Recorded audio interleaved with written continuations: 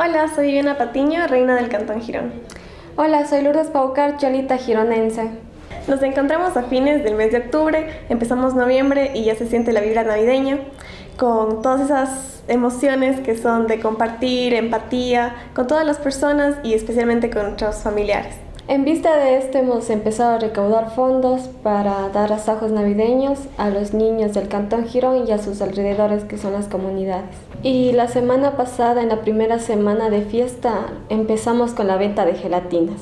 Y agradecemos a todas las personas que nos apoyaron ese día comprándonos las gelatinas y ya tenemos un pequeño fondo para iniciar con estos proyectos. Eh, próximos a este mes de noviembre siempre celebramos a nuestros santos difuntos. Por esta razón vamos a ofrecer nuestra colada morada con guavas de pan, elaboradas por nosotras.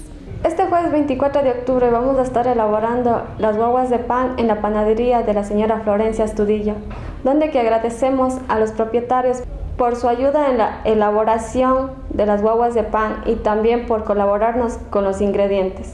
Y el día viernes 25 de octubre vamos a estar elaborando en Carasto, Jama y Biela la colada morada a partir de las 9 de la mañana.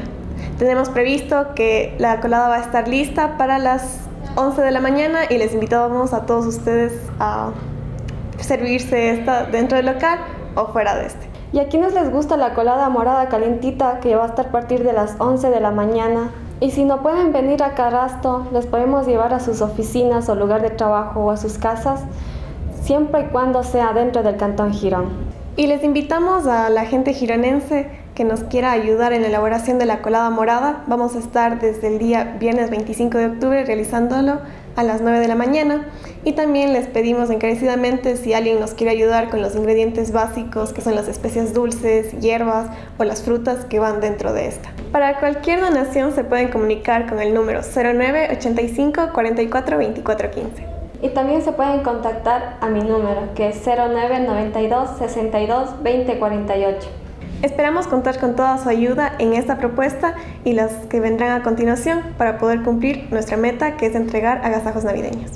Solamente con el apoyo de ustedes podremos cumplir este objetivo.